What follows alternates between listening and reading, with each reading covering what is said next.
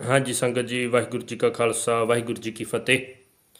ਤੁਹਾਨੂੰ ਸਭ ਨੂੰ ਭਲੀ ਪ੍ਰਕਾਰ ਪਤਾ ਹੀ ਹੈ ਕਿ ਡੇਰਾ ਬਾਬਾ ਨਾਨਕ ਹਰ ਸਾਲ ਸੰਗ ਜਾਂਦਾ ਹੈ, ਜਿਹਦੇ ਵਿੱਚ ਦੇਸ਼ਾਂ ਵਿਦੇਸ਼ਾਂ ਚੋਂ ਲੱਖਾਂ ਕਰੋੜਾਂ ਸੰਗਤਾਂ ਸਮੂਲੀਅਤ ਕਰਦੀਆਂ ਨੇ।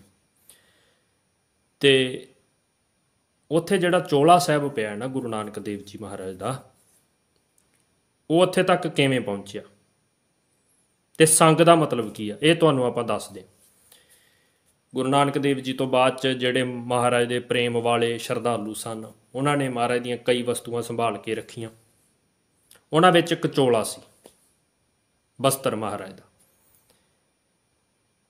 ਤੇ ਉਹ ਜਦੋਂ ਹੌਲੀ-ਹੌਲੀ ਗੁਰੂ ਅਰਜਨ ਦੇਵ ਮਹਾਰਾਜ ਪਾਸ ਪਹੁੰਚਿਆ, ਤੇ ਗੁਰੂ ਅਰਜਨ ਦੇਵ ਮਹਾਰਾਜ ਨੇ ਜਦੋਂ ਉੱਥੇ ਦਰਬਾਰ ਸਾਹਿਬ ਦੀ ਸੇਵਾ ਚੱਲਣ ਦੀ ਸੀ ਉੱਥੇ ਸਰੋਵਰ ਦੀ ਸੇਵਾ ਚੱਲਦੀ ਸੀ, ਗੁਰੂ ਅਰਜਨ ਦੇਵ ਜੀ ਦੇ ਸਮੇਂ।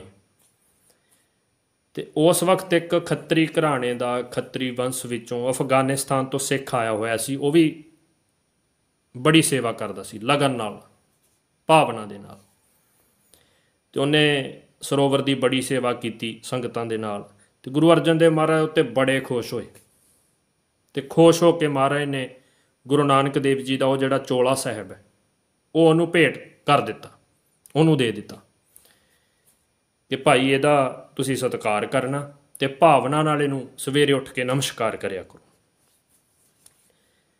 ਤੇ ਸਮਾਂ ਲੰਘਦਾ ਗਿਆ, ਉਹ ਜਿਹੜੇ ਖੱਤਰੀ ਪਰਿਵਾਰ ਦੇ ਬਜ਼ੁਰਗ ਸਨ, ਉਹ ਜਦੋਂ ਬਹੁਤ ਹੀ ਬਜ਼ੁਰਗ ਹੋ ਗਏ ਨਾ, ਉਹਨਾਂ ਦੇ ਮਨ ਵਿੱਚ ਖਿਆਲ ਆਇਆ ਕਿ ਜਦੋਂ ਤੋਂ ਇਹ ਮੈਨੂੰ ਚੋਲਾ ਸਾਹਿਬ ਮਿਲਿਆ, ਮੈਂ ਬਹੁਤ ਇਹਦਾ ਅਦਬ ਕੀਤਾ, ਬਹੁਤ ਸਤਿਕਾਰ ਕੀਤਾ।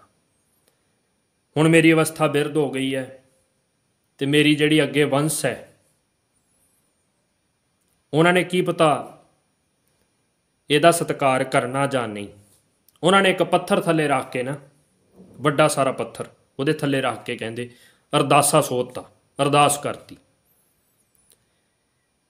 ਕਿ ਉਹਨਾਂ ਚਿਰ ਇਹ ਪੱਥਰ ਨਹੀਂ ਚੁੱਕਿਆ ਜਾਵੇਗਾ। ਜਿੰਨਾ ਚਿਰ ਮਹਾਰਾਜ ਦੀ ਕੁੱਲ ਤੋਂ ਆ ਕੇ ਇਹਨੂੰ ਸਤਕਾਰ ਨਾਲ ਇੱਥੇ ਅਰਦਾਸ ਨਾ ਕਰਨਗੇ, ਇੱਥੇ ਪੰਜ ਪਾਠ ਜਪਜੀ ਸਾਹਿਬ ਦੇ ਨਾ ਕਰਨਗੇ। ਫਿਰ ਸਾਧ ਸੰਗਤ ਜੀ ਸਮਾਂ ਲੰਘਦਾ ਗਿਆ।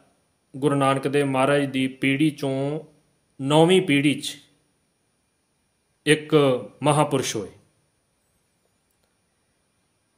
ਉਹਨਾਂ ਨੂੰ ਕਹਿੰਦੇ ਰਾਤ ਨੂੰ ਸੁਪਨਾ ਆਇਆ, ਭਜਨ ਕਰਦੇ ਆ। ਕਿ ਫਲਾਣੀ ਜਗ੍ਹਾ ਪੁੱਤਰ ਮੇਰਾ ਇੱਕ ਚੋਲਾ ਪਿਆ ਹੈ। ਗੁਰੂ ਨਾਨਕ ਪਾਤਸ਼ਾਹ ਦਾ ਸੁਪਨਾ ਆਇਆ ਕਿ ਅਫਗਾਨਿਸਤਾਨ 'ਚ ਹੈ ਤੇ ਉੱਥੇ ਤੁਸੀਂ ਪੰਜ ਪਾਠ ਜਪਜੀ ਸਾਹਿਬ ਦੇ ਕਰਕੇ ਤੇ ਅਰਦਾਸਾ ਸੋਧ ਕੇ ਜਦੋਂ ਤੁਸੀਂ ਪੱਥਰ ਚੁੱਕੋਗੇ, ਉਦੋਂ ਪੱਥਰ ਆਪਣੇ ਆਪ ਚੁੱਕਿਆ ਜਾਵੇਗਾ ਤੇ ਹੇਠਾਂ ਚੋਲਾ ਪਿਆ ਹੈ।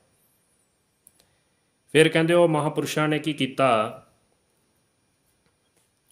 ਉਹਨਾਂ ਨੇ ਆਪਣੀ ਸੰਗਤ ਲਈ, ਆਪਣੇ ਜਿਹੜੇ ਨਾਲ ਸੇਵਕ ਸਨ ਉਹ ਲਏ ਤੇ ਅਫਗਾਨਿਸਤਾਨ ਗਏ।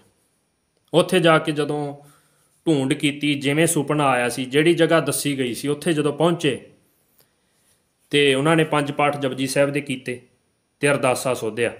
ਜਦੋਂ ਅਰਦਾਸ ਕੀਤੀ, ਪਹਿਲਾਂ ਕਹਿੰਦੇ ਉਹ ਪੱਥਰ ਚੁੱਕਿਆ ਨਹੀਂ ਸੀ ਜਾਂਦਾ। ਤੇ ਜਦੋਂ ਅਰਦਾਸ ਕੀਤੀ, ਪੰਜ ਪਾਠ ਜਪਜੀ ਸਾਹਿਬ ਦੇ ਕਰਕੇ, ਤੇ ਜਦੋਂ ਸੰਗਤ ਨੇ ਪੱਥਰ ਚੁੱਕਿਆ, ਤੇ ਪੱਥਰ ਚੁੱਕਿਆ ਗਿਆ।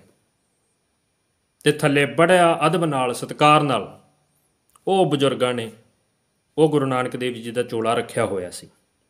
ਤੇ ਉਦੋਂ ਸਾਰੀ ਸੰਗਤ ਕਹਿੰਦੇ ਮਹਾਪੁਰਸ਼ਾਂ ਦੇ ਸਮੇਤ ਹੀ ਡੇਰੇ ਬਾਬੇ ਨਾਨਕ ਆਏ ਸਨ। ਤੇ ਜਿੱਦਣ ਉਹ ਆਏ ਸਨ ਉਹ ਦਿਨ 4 ਮਾਰਚ ਦਾ ਦਿਨ ਸੀ। ਤੇ ਇਸ ਕਰਕੇ ਇਹ ਸੰਗ ਹੈ ਜਿਹੜਾ ਆਉਂਦਾ ਹੈ। ਠੀਕ ਹੈ ਜੀ? ਤੇ ਇਹ ਸੰਗ ਦੇ ਵਿੱਚ ਬੜੀ ਸ਼ਰਧਾ ਭਾਵਨਾ ਦੇ ਨਾਲ ਸੰਗਤਾਂ ਦੇਸ਼ਾਂ ਵਿਦੇਸ਼ਾਂ ਚੋਂ ਆਉਂਦੀਆਂ ਨੇ, ਸਮੂਲੀਅਤ ਕਰਦੀਆਂ ਨੇ। ਭਾਵ ਕਿ ਇਹ ਸੰਗ ਤਾਂ ਆਉਂਦਾ ਹੈ। ਇਹ ਸੰਗ ਦਾ ਮਤਲਬ ਇਹ ਹੈ, ਠੀਕ ਹੈ ਜੀ? ਬੜੇ ਵੱਡੇ ਨਗਰ ਕੀਰਤਨ ਦੇ ਰੂਪ ਵਿੱਚ ਆਉਂਦਾ ਥਾਂ ਥਾਂ ਤੇ ਲੰਗਰ ਲੱਗਦੇ ਨੇ, ਸੰਗਤ ਦਾ ਸਤਿਕਾਰ ਹੁੰਦਾ ਹੈ ਤੇ ਲੋਕੀ ਸੇਵਾ ਕਰਦੇ ਨੇ, ਕਈ ਅਰਦਾਸਾਂ ਕਰਦੇ ਨੇ, ਜਿਨ੍ਹਾਂ ਦੀਆਂ ਅਰਦਾਸਾਂ ਸ- ਪੂਰੀਆਂ ਹੁੰਦੀਆਂ ਨੇ, ਠੀਕ ਹੈ ਜੀ? ਭਾਵ ਕਿ ਉਹ ਦਿਨ 4 ਮਾਰਚ ਦਾ ਦਿਨ ਸੀ। ਤਾਂ ਕਰਕੇ ਇਹ ਸੰਗ ਆਉਂਦਾ ਹੈ। ਕਈ ਸ਼ਹਿਰਾਂ ਪਿੰਡਾਂ ਵਿੱਚੋਂ ਹੁੰਦਾ। ਇਹ ਫਿਰ ਡੇਰੇ ਬਾਬੇ ਨਾਨਕ ਉੱਥੇ ਪਹੁੰਚਦਾ ਹੈ। ਠੀਕ ਹੈ ਜੀ। ਤਾਂ ਕਰਕੇ ਉਹ ਜਿਹੜਾ ਚੋਲਾ ਸਾਹਿਬ ਸੀ, ਉਹਨੂੰ ਸੰਗਤਾਂ ਉੱਥੇ ਜਾ ਕੇ ਆਪਣਾ ਸਿਰ ਝੁਕਾਉਂਦੀਆਂ ਨੇ, ਉਹਦਾ ਅਦਬ ਸਤਿਕਾਰ ਕਰਦੀਆਂ ਨੇ। ਠੀਕ ਹੈ ਜੀ। ਵਾਹਿਗੁਰੂ ਜੀ ਕਾ ਖਾਲਸਾ। ਵਾਹਿਗੁਰੂ ਜੀ ਕੀ ਫਤਿਹ।